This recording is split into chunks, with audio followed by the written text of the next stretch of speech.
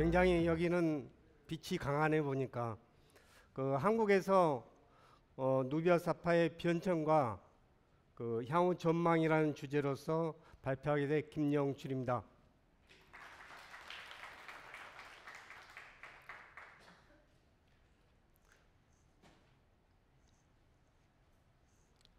어, 지난 2월에 창립 40주년을 맞이했습니다.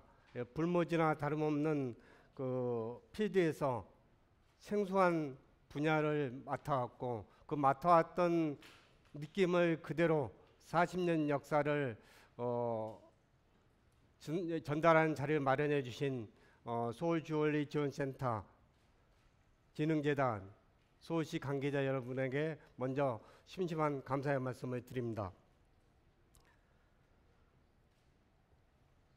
좀 전에 그 식전 행사가 있었는데 어, 100주년 출판 기념회였는데 뭐 선배님 또 동료님 또 후배님들 같이 모시고 특히나 발표하게 된 것을 영광스럽게 생각을 합니다. 세미나와 저서를 제외하고 SCI 논문을 포함해서 학술 발표까지 198편을 발표했습니다. 오늘로 199편이 되고 있습니다. 이런 학술 발표를 통해서 우리의 감정 능력을 검증하고 정보를, 정보를 교환하는 데 중요한 킴포인트로 여기고 있습니다. 오늘도 정진을 하고 있습니다. 감정에 대해서 잠깐 소개를 드리면은 70년대 말에서 80년도 중반에 아, 감정원들이 설립되기 시작했습니다. 저희 한미감정원은 첫째 R&D, 둘째 standard, 셋째 서비스라는 세 개의 주제를 가지고 컨트롤 타워의 정확성을 가지면서 경영을 해오고 있습니다. 지난 2005년도에 일본 전보협의 제모로지에서 세계 10대 감정원을 선정을 했습니다. 저희 한미부속 감정원이 당당히 여덟 번째 소개가 되었습니다. 우리 한류가 뜨고 있지만은 우리 감정원도 세계적인 감정을 뜨고 있구나. 여러분은 충분히 자부심을 느끼셔도 되겠습니다.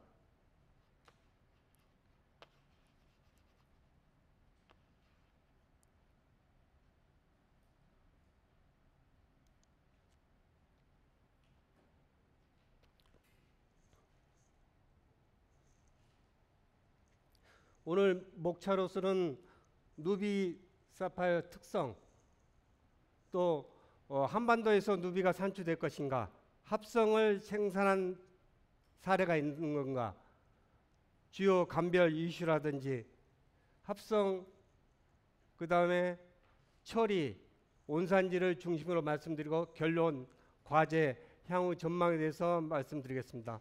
더더구나 이번 컨퍼런스를 준비하면서 위인물의 가장 뒤쪽에 72쪽, 73쪽에 연표가 나와 있습니다.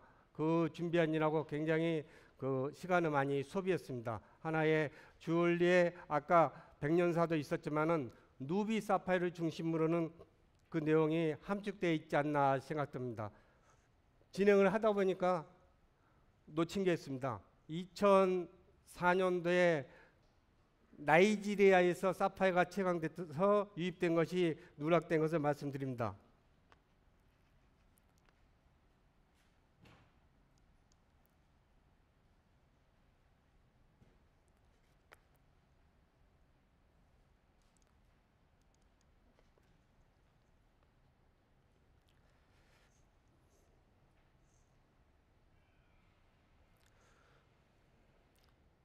누비아 사파는 잘 알다시피 광물명 즉 코런덤에서 나눠지죠. 붉으면 누비고 나머지 색상은 전부 사파이어라고 했습니다. 그러면은 누비아 사파이어는 물리적 특징, 광학적 특징이 결정적인까지 같습니다. 동일합니다. 단지 색상만 달리 되는 것이죠. 미량 원소인 크로뮴이 들어감으로써 루비가 나오는 거고 티타늄이나 철이 들어감으로써 블루 사파이어가 되는 것입니다. 오늘 여기 컨퍼런스가 이루어진 페럼몰도 ferrum이 라틴어로 FE 철을 뜻하고 있는 것은 다 아실 겁니다.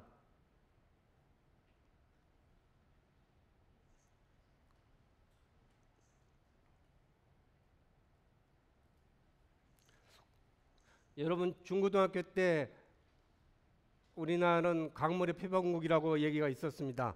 있었습니다. 배웠을 겁니다.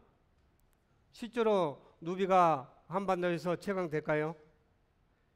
일제 강점기에 대한민국을 찬탈하게 해서 한반도를 탄철하게, 탄철하게 해서 일본에 한국의 강물 지하 자원을 탐사한 자료가 되겠습니다. 1941년도 조선 광물지락에서 여기를 보면은 실제 누비아 사파이어가 산출된 내용이 나오고 있습니다. 연천, 충주, 서산, 천안, 김제, 북쪽의 평원, 우주, 천원, 길주가 되겠습니다.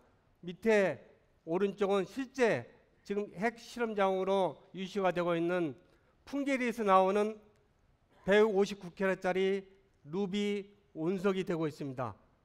한국 최초 공개입니다.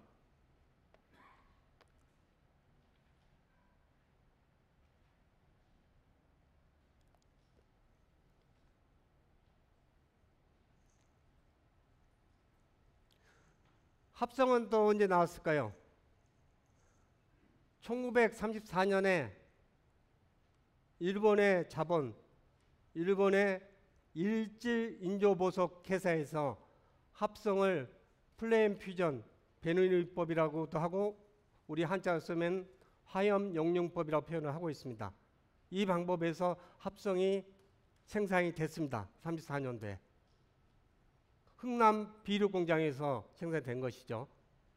그 다음에 2000년도 전에 98년도에 나주의 동신대학교에서 저 같은 합성 성장 장치와 그대 실제적으로 물 형태의 누비와 사파이어가 생산이 됐습니다. 주요 감별 이슈가 되겠습니다. 오늘 포인트가 되겠는데 첫 번째 나와 있는 합성하고 제 밑에 원산지 빼고 가운데 있는 처리 쪽 위주로 많이 말씀을 드리도록 하겠습니다.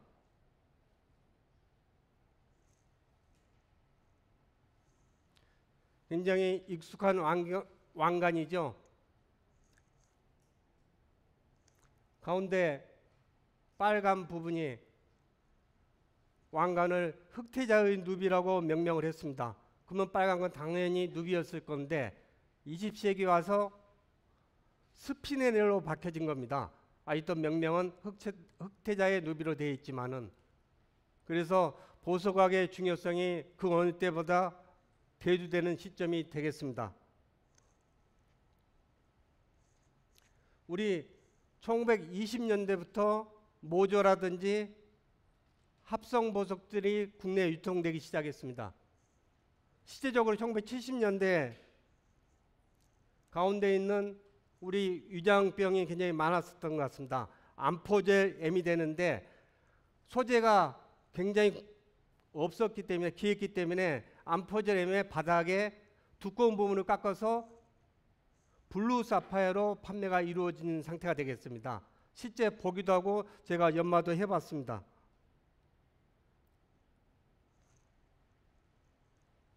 그 다음에 60년대 중반부터 중반부터 80년대 중반까지는 합성 스타가 유행을 했습니다.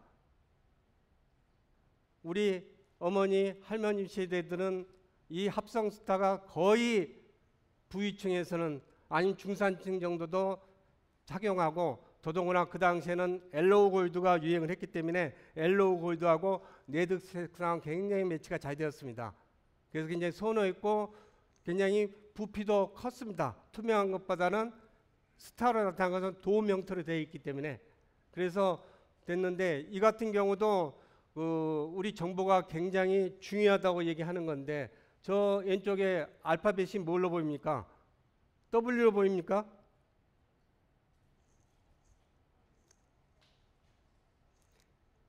L자입니다.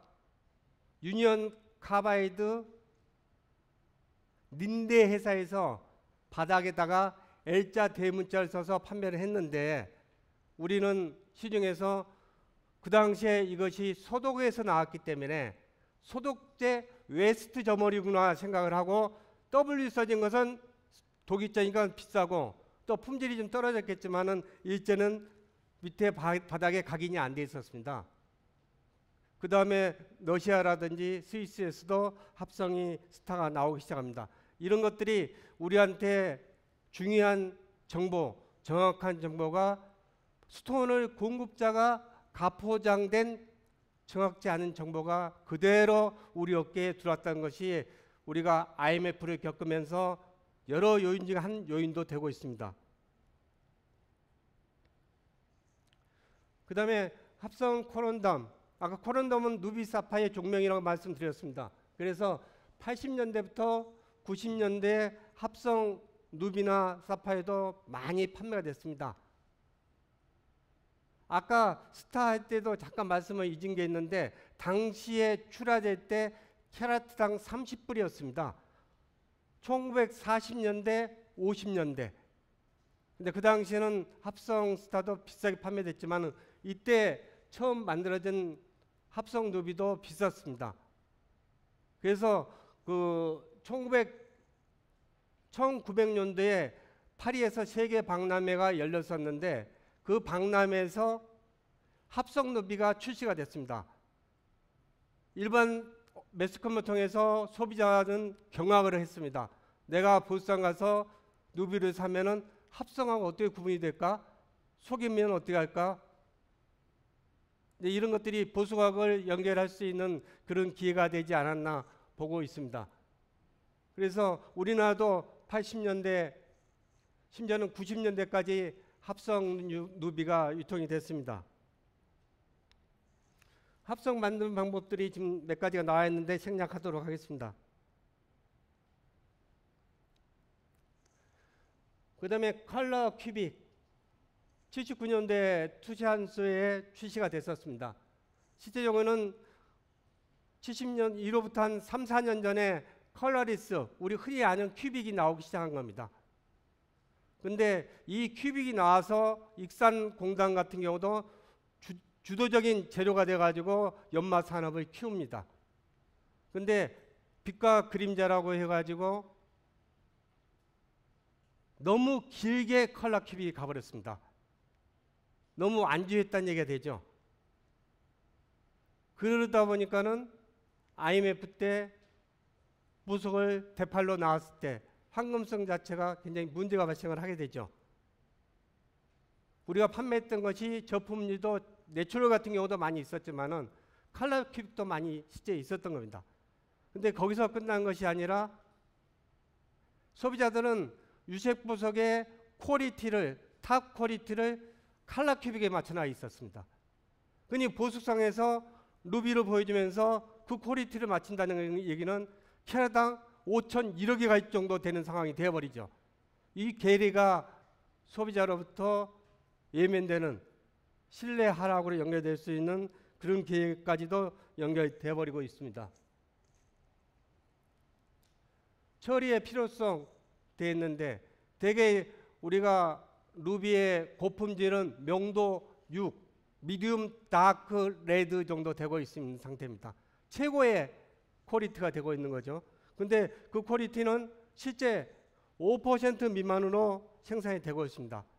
수요는 많은데 다양한 계층에 대해서 공급을 어떻게 해야 될 것인가.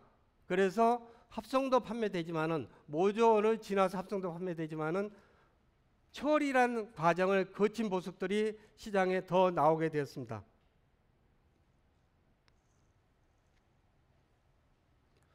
가열의 분류를 한 여섯 가지 정도 먼저 말씀을 드리려고 하는데 단순 가열, 취간이라 해서 곰방대처럼 생긴 겁니다.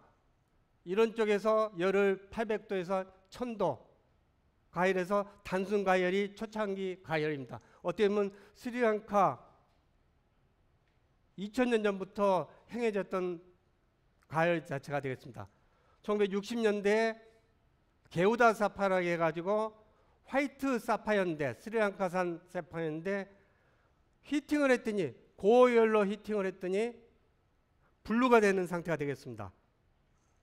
그 다음에 표면 확산은 티타늄이라든지 크로뮴을 전이온을 사용해 가지고 도포를 해 가지고 아주 높은 온도 1800도 이상 그러면은 우리가 아까 치관 곰방대처럼 생긴 치관 말씀드렸던 거고 그 다음에 뭐 디젤 요즘에는 전기로까지 나와 있는 상태가 됩니다. 용광로 자체가 그래서 온도를 처음에는 많이 올릴 수가 없었습니다. 온도를 어느 정도 올리느냐 어떻게 보면은 지금 전기로에서 1600도에서 1700도까지 올린 게 전격으로 되어 있습니다. 그러면 그 온도가 올렸을 때 루비의 아니면 사파이어의 가치가 훨씬 높아진다고 이해를 하시면 되겠습니다. 그 다음에 flux가 첨가된 충전 같은 경우는 1500에서 1700도. 그 다음에 우리 시장에서 굉장히 말썽이 생겼던 납유리 함침. 이것은 900도에 1400도이지만 실제적으로 본처리는 한 900도 정도 되고 있습니다. 그 다음에 2001년도 말에 위시가 되어 있던 베리륨 주로 어, 일본에서 아주 경악한 사건인데 파파라체락에서 오렌지 핑크 사파이어를 가장 일본이 좋아했고 전 세계 생산량의 가장 다수를 갖고 있는데 이 사파이어가 새로운 알지도 못한 처리법에 서 처리됐다는 겁니다. 그러니까 경악할 수밖에 없었죠. 그다음 제일 끝에 2000년도 말에 2009년도부터 해서 13년도에 성공해야 되는데 그 사파이어를 고온 그 다음에 저압 상태에서 처리하는 방법이 나오게 됩니다.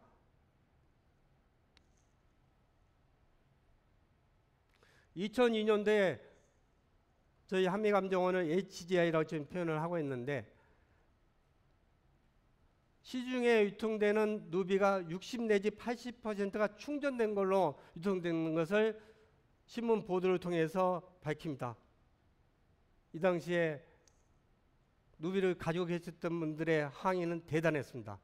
근데 충전 처리라는 것을 하는 것은 80년대 초에는 표면에 홈이 파진 데다가 유리를 녹여 넣어 가지고 메꾸는 땜질하는 스타일이었는데 이때는 처리 방법이 달라집니다.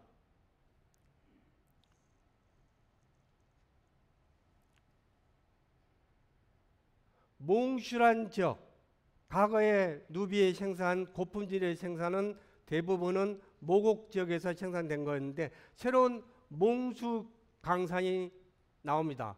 근데 몽수에서 나오는 어떻게 보면 코런덤은 가운데 육각형의 자색기라든지 어두운 색상이 돼 있었습니다.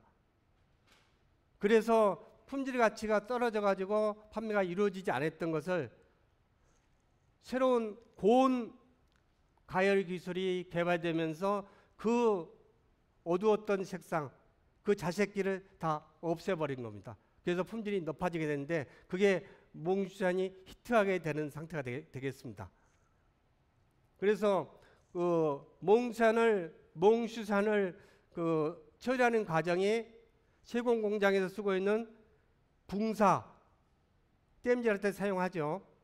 그것을 도포로 하게 되면은 촉매 역할을 해가지고 온도 좀 낮은 온도에서도 처리가 가능하고 그 다음에 완충 역할을 합니다. 루비가 깨질 개연성이 적습니다. 왜냐하면 고온으로 올라가다 보니까는 더 가혹한 조건이 만들어졌던 것이죠. 그래서 누비의 몽쉘이 나오면, 나오면서 도포를 하고 했는데 어떻게 보면은 그 80년대 초에 했던 것은 고의적으로 했던 것이고 이것은 어떻게 보면 부수적으로 부산물로 나왔다고 이해를 하시게 되, 겠습니다 그러면 PC사에 유리 물질이 충전되어 있는데 시장에 유리물질 충전된 것이 6, 80%가 유통이 됐던 겁니다. 그래서 실제 누비를 가지고 판매했던 것도 문제겠지만은 재고 가지고 있는 것이 한미에서 처리됐다고 표현을 하니까 딜러들은 항의가 대단했었던 것이죠. 자기 가지고 있는 스톤의 자상함수까지 연결될 수가 있는 것이죠. 근데 저는 돌이켜 생각을 했습니다. 80년도 초에 비치 시장에 있어서 비치를 수지 침투한 것을 식별할 수 있는 기술이 없었기 때문에 한국의 비치 시장이 망가져 버렸습니다.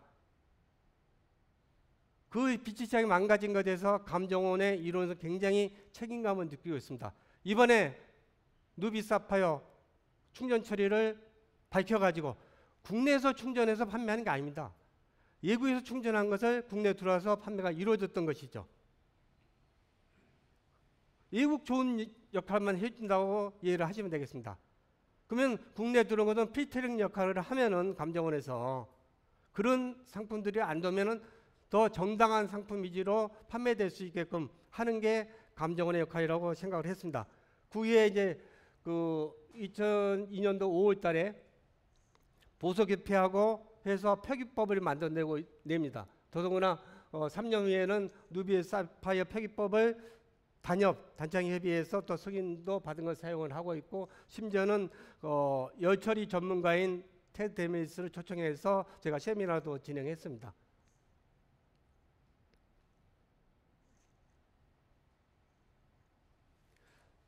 이것은 그 전제가 저희가 일반 국내 기준의 감별수도 발행하지만은 글로벌 기준에서 프리미엄 감별수라고 해서 GIG락에서 발행되는 게 있습니다. 그래서 약간 기준을 글로벌 기준에 맞춰서 이것을 맞춰서 하고 있는데 실제적으로 누비가 2001년도부터 2021년까지 11년 동안에 가열하고 비가열 물론 고품질이기 때문에 그 의뢰자가 딜러들이 어느 정도 인식한 상태에서 의뢰했을 걸 봅니다. 그래서 가열이 한 74%, 비가열도 상당량이 고품질에서 나오고 있다고 말씀드릴 수 있고, 그 다음에 가열의 정도를 H, H는 어, 가열했을 때 아까 충전하는 과정에서 히팅이 되는데 그 잔류물이 나, 보이지 않는 상태가 되겠습니다. 그 다음에 H1 정도는 극히 미시한 정도인데 둘 합했을 때 굉장히 많아지죠. 한 70% 가까이 되고 있습니다. 이때 베릴륨 같은 경우는 0.1% 누비에도 베릴륨 처리가 나오고 있다는 것을 보여드리고 있습니다.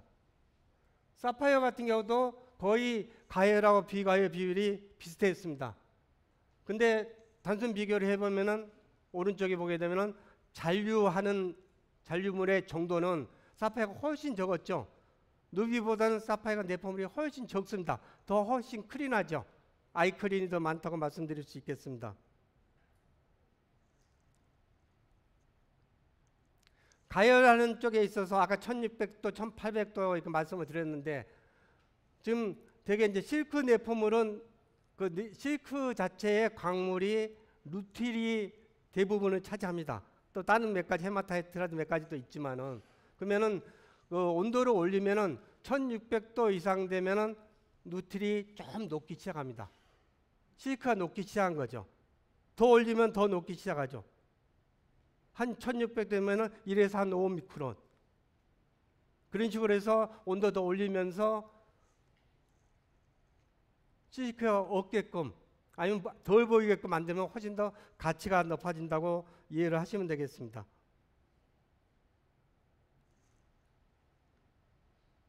이것은 정해선 분광 분석으로 해가지고 보시게 되면은 그 위쪽이 히팅된 것이 되겠고 밑에가 히팅되지 않은 쪽이 되겠습니다. 히팅된 게 3310, 3232 가이저 부분에 좀의 흡수가 나타나고 있습니다. 밑에 보면은 히, 노 히팅이었을 때 한 3000부터 3700 사이에 부분적으로 흡수가 이루어진 것을 알 수 있습니다. OH 관계로서 기관계로서 나누어집니다. 그런데 이 한 가지로서 본 게 아니라 일본 보석학적인 검사라든지 분광학적인 검사를 종합적으로 해서 결과를 도출해 내고 있습니다. 그 다음에 그 함침 루비가 되겠습니다. 함침 루비는 실제적으로 그 다이아몬드의 1970년대에 이스라엘에서 처리법이 나왔습니다. 그러니까 다이아몬드에 crack이 있었을 경우에 crack 사이에 남주리 물질을 집어넣어 가지고 다이아몬드가 훨씬 맑게 보이게끔 지금도 간헐적으로 유통이 되고 있습니다. 이것을 2003년도에 SSEF 스위스 그 다음에 일본에서 유입됐다고 보고가 됐었던 거고 우리나라는 2004년 2월 달에 저희가 10캐럿짜리를 발견한 것이 뉴스로 나왔습니다. 그 다음에 2004년도에 일본 제노교 같은 데서 이 프레시 효과가 나타난 것을 얼른거리는 효과가 나타난 것은 남유리 물질이라는 걸 분석을 보고를 하게 됩니다. 그래서 어, 2004년도 12월 달에 보석 감정원 협의회가 전문 감정원 협의회가 이걸로 인해서 발족이 되고 처리 표기법이 나옵니다. 근데 세계적으로 국내뿐만 아니라 2005년도부터 함침누비가 급증하기 시작합니다. 보면 2000년도 이전에는 누비를 생산할 때 광산에서 고품질만 채광을 해서 시장 갖고 내려왔습니다. 2000년도부터는 누비란 누자는 다 갖고 내려오는 겁니다. 아주 저품질부터 아주 고품질까지. 그 정도 수요가 다양해지고 처리 방법이 다양하게 나왔던 것입니다. 획기적으로 많이 바뀌었다고 말씀드릴 수 있겠습니다. 특히나 2008년도 KBS TV에서 함침 누비 구발 프로에 나와서 했었죠. 요즘 합성 다이아몬드가 새로운 시장을 차지하고 있는데 굉장히 엄격히 분리해서 거래가 되줘야 됩니다. 이 함침 누비 때문에 전체 누비 시장이 타격을 받았습니다. 그 다음에 2011년도에 누비아 사파이어 폐기법을 8개 감정원이 합의를 해가지고 다시 발표를 하게 됩니다. 그 다음에 이제 베릴륨 사파이어가 되겠습니다. 2001년도 9월 달에 일본, 스위스, 이런 그 미국이라든지 이런 감정원에 파파라치 사파이어 아까 핑크 오렌지라고 말씀드렸지 않습니까? 서양 석양역에 해가 저물고 있는 상태에 핑크 칼라가 섞인 거라고 이해하시면 되겠습니다. 너무 환상적인 사파이어인데 우리나라는 공교롭게도 별로 안 팔렸어요. 선호가다가 떨어졌습니다. 근데 일본 같은 경우는 엄청나게 뭐 자료에 의하면 8, 90%가 생산된 게 일본에서 팔렸다고 합니다. 근데 이게 태국에서 마다카르산 핑크 사파이 변화시켰다. 아니면 탄자니아에 나오는 그린 칼라 변화시켰다. 아니면은 뭐 이런 첩보들이 나오기 시작합니다. 지나가 보니까 사실이었죠. 그렇지만은 찬타브리에 있는 보석협회에서는 우리는 아니다. 2002년도 5월 달에 미국 투사연에서 GILC라는 감정에 관계된 회의가 있었습니다. 거기서 시미스 분석 결과를 GI는 베릴륨이다 이렇게 폭탄 선언을 합니다. 2002년 6월 달에 찬타브리 보석협회도 시인을 하면서 bulk diffusion이라고 초창기는 표현하고 나중에는 처리 사파이어로 호칭을 좀 바꿨고 지금 또 바뀐 상태가 되었습니다. 저희 한미보석 감정원은 국내 유색보석의 대표 주자로서 저희 감정원하고 배 감정원이 표기법을 bulk diffusion을 당시에 표기했고 그 다음에 베릴륨 처리된 걸로 표기법을 바꿨습니다. 그렇지만 2003년도 1월 달에 시인을 하게 되죠. 그러면서 자기 처리된 것을 칼라 개선된 것이 베릴륨에 의해서 됐다는 것을 알려지게 되죠. 근데 여러분 가서 찾아본다든지 알고 계신 분도 많이 계실 걸 생각도 하는데 베릴륨 굉장히 독성이 강한 겁니다. 우리 주위에서 공장에서 그냥 할 수 있는 쪽이 아니에요. 태국이었기 때문에 가능한 겁니다. 태국도 규제가 있었지만은 단속이 안 됐기 때문에 이 피해 사례들은 엄청 많이 나오고 있습니다. 즉, 그 피해 사례란 것은 베릴륨을 처리할 때 고온에서 베릴륨을 집어넣고 하얀 가루 집어넣고 녹이는 과정에 독성 가스가 나온다는 얘기죠. 저희가 2004년도 2월 달에 UV 비집을 통해서 1차적으로 이 감배법을 한시적으로 저기 제한적으로 어, 개발해냅니다. 그거 2005년도에 단협이 이 통일법 표기법에 대해서 승인을 해주고 그 다음에 2014년도에 저희가 키스트하고 KBSI 쪽하고 해가지고 이 LAICP-MS를 통해서 검사하는 방법을 시작했습니다. 구체적으로 하는데 근데 그 요- 이번에 컨퍼런스 주최하는 서울 주얼리 지원센터 SJC가 서울시의 지원을 받아서 LAICP-MS 오른쪽 장비죠. 하고 그 EDXRF를 구입을 하게 됩니다. 굉장히 저희 감정 오는 입- 입장에서는 고맙게 생각을 합니다. 왜 그러냐면은 이 장비가 5억이 넘게 들어갔는데 처음에 초기 자금만 돈이 무- 들어간 게 아니라 유지 자금이 엄청 들어갑니다.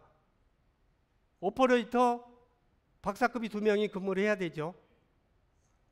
근데 그 전에는 일주일 정도 소요가 됐습니다. 제가 KIST 쪽에 진행했을 때는 비용도 20에서 50만 원 비용 우리가 지불을 했습니다. 한 건당. 그러면 고스란히 고객한테 부과가 됐던 것이죠. SJ에서 진행하면서는 3일로 줄어들었고 두 번째는 비용이 추가 부담이 없는 겁니다. 그걸 고스란히 어깨 소비자로 연결된다는 것이 SJC의 큰 역할이었지 않나 생각을 합니다.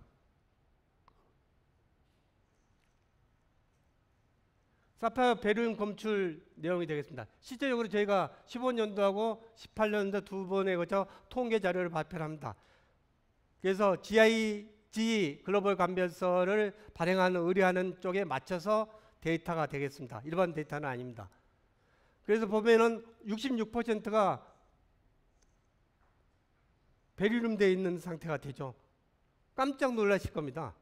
근데 실제로는 orange yellow가 많습니다. 대부분인 상태 되죠. orange yellow. 그 실질적으로 블루 칼라도 이 당시에는 3% 정도 나왔습니다. 지금은 블루 칼라가 많이 오늘 첫 번째 연사 어제 저녁에 잠깐 미팅을 했는데 거의 유통이 일본도 안 되고 있다고 합니다. 블루 칼라가. 그렇지만은 우리나라는 간헐적으로 한 달에 한두 건 정도 blue 사파이어인데 베릴륨 처리가 의뢰가 되고 있습니다.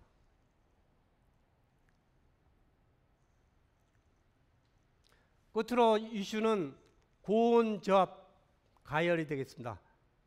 high temperature pressure가 되겠습니다. 고온은 올라갔지만 기압은 아까 1kbar 미만이었습니다. 실제적으로 루비를 단순 가열, 열 처리할 때도 압이 잡힙니다. 그래서 2009년도에 성수동에 있는 에버프렌드라는 회사에서 고온 고압 장치 아까 첫 번째 연사가 말씀하셨죠. 그와 같은 겁니다. 그 장비에다 넣어가지고 블루 사파이어를 옅은 색의 블루 사파이어, 짙은 색 블루 칼라로 개선한 기술을 개발합니다. 이제 그래서 2009년도에 저희가 학수복을 하는 거고, 이, 2012년도에 다른 지역의 피셔시산 쪽에서 안산에 있는 쪽이었는 당시에 또 개발을 했는데 여기는 상용화가 가능할 정도로 그 당시에 개발했습니다. 실제 태국의 GIT라든지 GI 연구진들이 한국에 와서 실제 처리하는 과정을 다 보게 됩니다.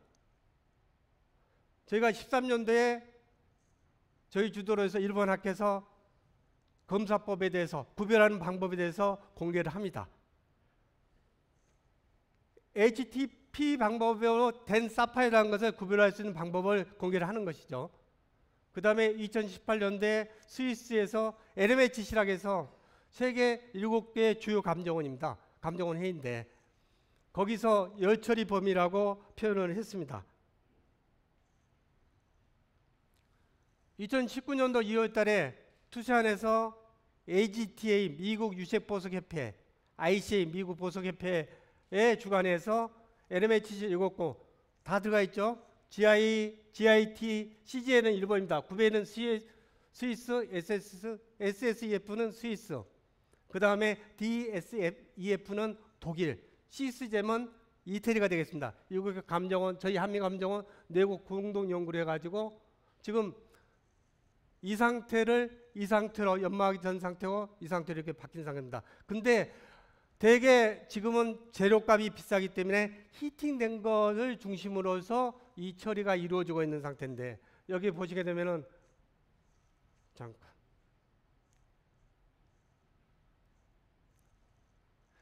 항상 품질이 높지는 않죠. 왼쪽에 오른쪽에 됐으니까는 이- 그 당시 자료 사진인데 어, 이 가치를 높인 것은 굉장히 그 중요한 역할을 했고 새로운 처리법도 됐고 또 결과가 여처리 범주 속한다는 것도 굉장히 중요했다고 생각이 들어갑니다. 저희 한미보수 감정원이 이걸 주도를 했는데 우리의 감정 능력을 대한민국의 감정 능력을 세계적으로 알리는 기회가 됐습니다. 그 다음에 온산지가 되겠습니다. 온산지에 따라서 가치가 달라지니까는 온산지 표현이 굉장히 중요합니다. 이 지도를 보시게 되면은 이쪽 동아프리카, 그 다음에 인도, 북쪽, 동남아시아, 태국 이렇게 모여 있죠.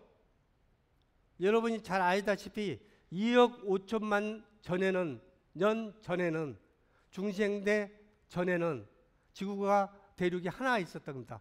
판게라고 표현을 하죠. 그 대륙 이동설에서 쭉 이 산지가 만들어져가지고 쫙 흩어지는 겁니다. 옛날에 붙어 있었던 거예요. 근데 이것이 감정을 해서 온산지를 식별할 때는 굉장히 중요하고 지질학, 광상학이 거기에 중요한 역할을 하고 있습니다. 그 다음에 세계 누비 생산량 이렇게 되어 있는 상태인데 이것은 2008년도에 업데이트된 상태입니다. 어떻게 보면은 2000년도 전에는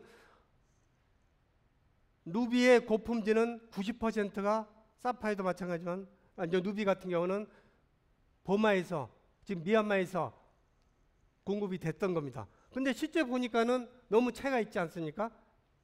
누비를 봤을 경우에 케냐, 마다, 탄자니아 이렇게 따지면 90% 가까이가 한 7, 80%가 아프리카입니다.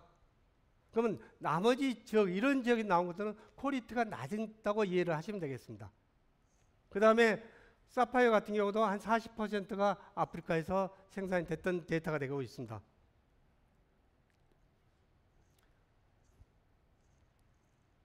이것은 자료가 불, 핑크색으로 음영 표시된 것들은 누비, 파란색으로 되어 있는 것은 사파이어, 하얀색으로 되어 있는 것은 누비 사파이어 공이 나오는 지역으로 이해를 하시면 되겠습니다.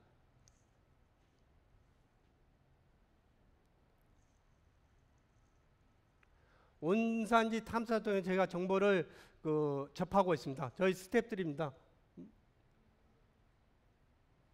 심지어는 그 아프리카, 탄자니아, 모잠비크, 케냐도 방문해 가지고 현지에 있는 정보를 받아오고 왜냐면은 수톤들이 아 이것은 예를 들어서 태국이 착각했는데 아 이거는 태국에 사온 게 아니라 버마에 사왔어 미얀마에 사왔어 이게 다반사입니다. 그걸 과학적으로 구분을 해내야 되는데 그 첫 번째 정확한 정보가 굉장히 중요하다는 얘기가 되죠. 그래서 온산지를 방문해서 캐치해 와가지고 그걸 현장에서 적용을 하고 있습니다. 근데 이것은 자외선 가시광선 분광 분석인 상태인데 봄막과하고 모잠비크가 좀 차이가 있는 것을 보여드리고 있습니다. 그 다음에 온산지 분포 이렇게 되어 있는 상태. 이건 저희가 그 지금 한 10년 정도 데이터의 글로벌 감별서의 데이터라고 이해를 하시면 되겠는데 루비는 버마, 타일랜드, 아프리카는 동아프리카 뭐 나머지까지 다 포함됐다고 생각을 하고 무기재는 아 의뢰를 했는데 아프리카 어디로 나왔어요 하면은 아 그건 감정 떼어주지 마세요. 이렇기 때문에 무기재되는 경우가 굉장히 많습니다. 그리고 어떻게 보면은 지금 현재 한국의 고품질은 미얀마 굉장히 많죠. 예전에 80년대는 태국산이 가장 많았습니다. 지금 태국산은 거의 없다시피 굉장히 작아지고 있는 상태죠. 그 다음에 사파이어 같은 경우도 예전에 그 합성에 의해서 디퓨전 사파이어 가 유행을 했고 그 다음에 먹블루라고 해서 다크블루가 유행을 많이 했었던 것이죠. 한 건데 실제로 스리랑카산은 옛날에는 실론이라고 했었죠. 그래서 실론, 셀론 이런 표현들을 많이 썼었습니다. 근데 의뢰된 양으로 봤을 때는 스리랑카가 많이 의뢰가 되고 있습니다. 그 다음에 누베 사파이어 봤을 때 사파이어가 좀 저 크기가 좀 크게 산출이 되죠. 그래서 실제적으로 누비도 한 10캐럿 이상 되는 것은 2.6%, 사파이어는 2.2% 정도 있기 때문에 한국에서 의외로 비싼 보석이 판매되고 고가가 판매된다고 이해를 하시면 되겠습니다. 결국은 나만 못 판 거 아닌가 이런 것도 자아의식을 해볼 필요가 있지 않나 생각합니다. 그 다음에 스페셜 칼라에서 아까 피전 블러드, 노야 블루가 있는 상태인데 명도 5 정도 돼가지고 에이제는 일본 보석감배단체 협의회고 GI10 태국의 감정입니다. SF, 구베린, GRS 이런 시스템으로 지금 진행을 하고 있습니다. 그러면은 우리는 의뢰된 것 중에 pigeon blood는 한 4.3%, royal blue는 6.3% 정도 되겠습니다. 여기서 제가 오자가 있어서 말씀드리겠습니다. 유진물 쪽에 orange yellow가 4.8%로 지금 이면이 나와 있습니다. 실제 8.2%인데 저희 착오가 있었습니다.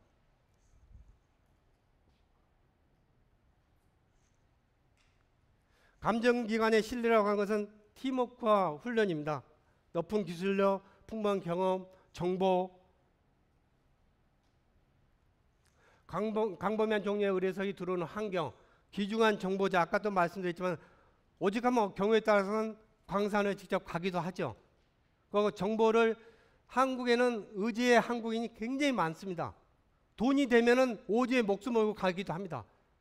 감정을 의뢰해서 어렵게 감정을 하면은 그것을 학술 외국의 국제 학술대에 나와서 발표를 하면 아 그런 stone이 우리도 못 봤는데 한국에 있어 할 정도로 한국 굉장히 빠릅니다. 돈 되는 데는 촉감이 굉장히 빠른 것 같습니다. 그래서 이제 그런 귀중한 정보가 정확성 있는지 레벨을 만들어서 저희가 내부적으로 데이터베이스를 하고 있고 저희가 아까 제노께서 10대 감정을 했더니 top 10에 속한 쪽이 되고 19년도부터 AGA라 해서 7개국의 9개 감정원이 서로 alliance를 해가지고 서로 결과를 공유하고 인정하는 제도를 준비하고 있습니다. 문자는 다 가이드라인은 만든 상태가 되고 지금 실물이 루비, 사파이어, 에메랄드, 다이아몬드 실물이 이동되면서 눈높이를 맞추고 있습니다.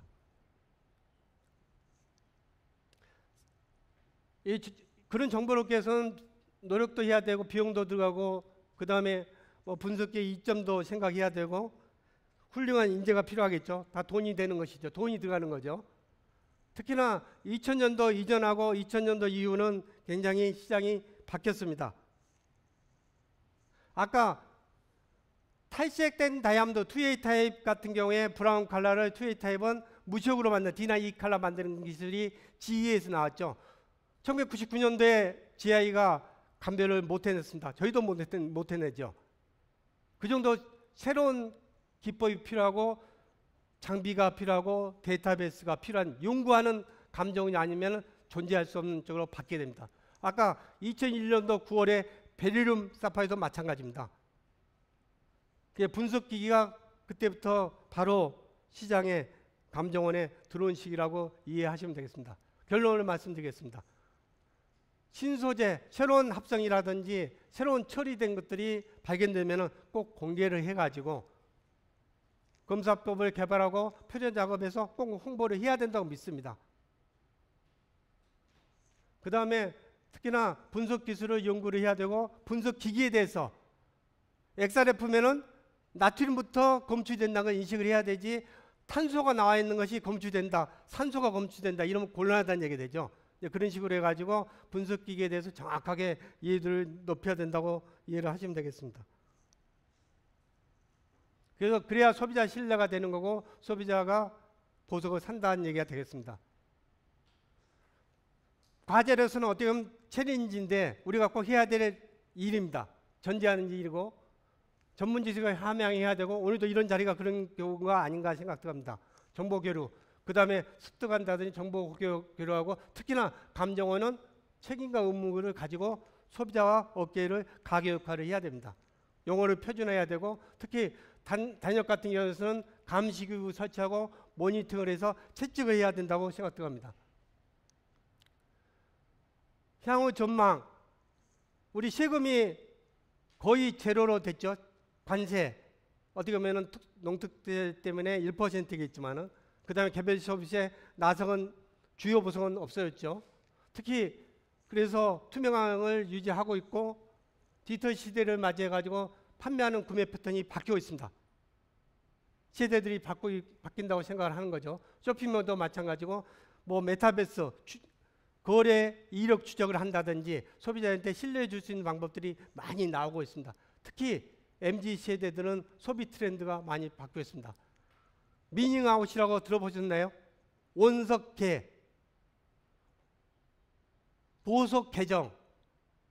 요즘 MZ 세대들의 새로운 아이템이고 신조어입니다. meaning, 커밍 아웃.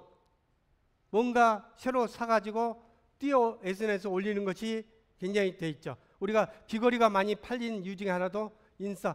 휴대폰이 얼굴을 찍을 때 귀걸이를 가장 먼저 찍게 됩니다.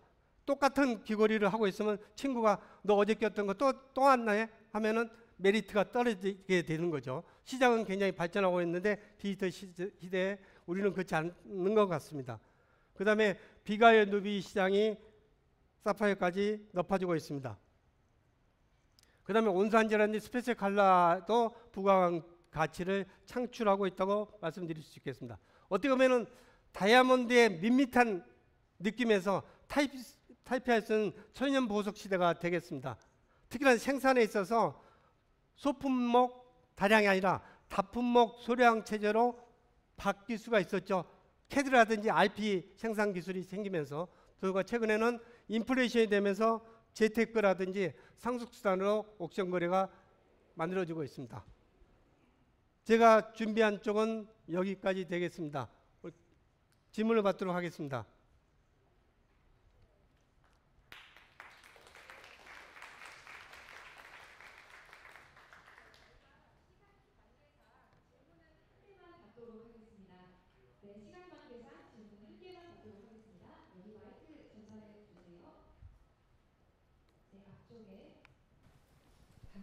네, 잘 들었습니다. 어, 네, 그 한미감정원이 한, 대한민국에서 가장 기술력이나 대한민국 안에서 기술력이나 이런 어, 정보가 어, 많이 어, 보유하고 계신 거는 어, 익히 알고 있습니다. 있는데 제가 하나 건의 겸 뭐 이렇게 한 여쭤보고 싶은 게 있는데요. 그 지금 한국 감정원 시장은 어, 외국과 다르게 OX 감정서가 남발이 됩니다. 무슨 말씀이냐면 아이덴티피케이션이나 원산지 감정이 빠진 그냥 루비다, 뭐 사파이어다, 아니다, 유리다, 뭐 이런 식의 감정서가 유통이 되는데 어떻게 보면 다른 감정원들은 그런 기술력이 없으니까 뭐 예를 들어서 그런 첨단 감정을 할 수 없는데 한미 감정원 같은 경우는 제가 알기로 그 아까 말씀하셨던 GIG 감정서가 첨단 감정서인데 어 여러 가지 고급 정보들이 최신 정보들이 다 삽입되어 있는 감정서죠. 근데 그 감정서를 만을 유통하시고 어 그러니까 글로벌 스탠다드죠. 그게 어떻게 보면 어 일반적인 OX 감정서를 발행하지 않으실 생각은 없으신지 꼭 한번 여쭤보고 싶고요. 이 기회를 통해서요. 그리고 또 하나는 아까 그 어, 전 세계 아홉 개 감정원이 연합체가 있다는데 그각 일곱 개 나라라 그러셨어요. 근데 그 뭐 루비 같은 경우 광원이 되게 중요시 되지 않습니까? 그러면 그 아홉 개 감정원들이 그 각개 광원을 스탠다드하게 공유를 하고 하시, 는 작업이신지 아니면 각 지역마다 다른 어, 광원을 갖고 태양광이 다 다르니까요. 적도 어, 위도에 의해서 어, 그래서 그, 그 기준이 조금씩 달라질 수 있는 건지 그거에 대한 질문 그러니까 두 가지를 질문을 해주셨는데 네. 제가 시간이 오버돼서 몇 가지 준비된 것을 말씀을 못 드린 것이 있습니다. 이제 그 내용도 그 속에 사실상 있는 것인데 제가 질문 끈 끊었죠. 아, 네. 네. 두 번째부터 잠깐 말씀드리면은 그 전문 감정원은 여러분이 들어가 보시지 못해서 모르시겠지만은 굉장히 암실처럼 되어 있습니다. 즉 인공 광원을 표준화된 광원을 사용을 합니다. 그러니까 태양빛 밑에서 보는 것이 아니라 일반 불빛 밑에서 보는 것이 아니라 정해진 표준 광원에서 검사를 해가지고 그 다음에 표준 광원 밑에서 그 다음에 어느 정도 거리에서 그 다음에 루비면 루비 아까 뭐 pigeon blood 뭐 royal blue 같은 거 master stone이 stone이 있습니다. 알이 블러 루비하고 사파이어가 그걸 비교를 하면서 검사를 해놓고 있는 상태라고 말씀드려야 될 것 같고 근데 어 다른 감정원들도 저도 이제 어떻게 보면은 그 감정원으로서는 금년 6회차에 처음 들어온 거죠. 예, 국내 감정원으로서는. 근데 저도 이제 스타트 나인에서 생각했던 중에 하나가 다른 감정원들도 이제 격상을 해야 된다. 이 품, 감정원의 수준이 낮은 쪽에는 이용을 안 하셔야 돼요. 시간이 없어 말씀 못 드렸지만은 이런 감정원들은 그러면 도와주는 일이 뭐겠어요? 감정을 많이 보내주는 일도 있겠지만은 시장 파일을 키우는 일이 됩니다. 시장이 커지면은 나눠 가질 게 많이 있게 되는 거죠. 그건 신뢰가 확보가 된다고 말씀드릴 수 있겠습니다. 이 정도에서 정리하고 네.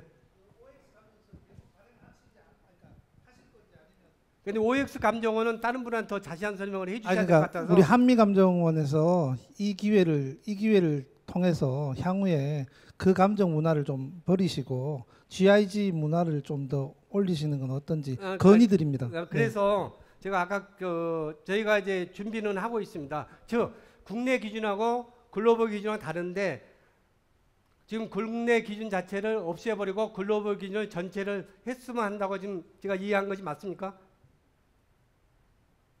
네. 그러니까 예, 그- 근데, 기존에 하시던 OX 감정원이 어떻게 보면 어, 그래서 예, 없어졌으면 어, 하는 어쨌든 간에 그 우리나라 시장에서 감정원들도 다 글로벌 기준에 맞는 감정수로 다 파- 도약을 해야 됩니다. 그러니까 그정 능력이 없는 쪽은 도태되고 능력이 있는 쪽은 더 투자를 해가지고 세계 경쟁력을 가질 수 있게끔 왜냐하면 한국에서만 보석이 판매되는 게 아닙니다. 이 보석이 고품질 같은 경우는 외국 나라에서 판매가 되는 겁니다.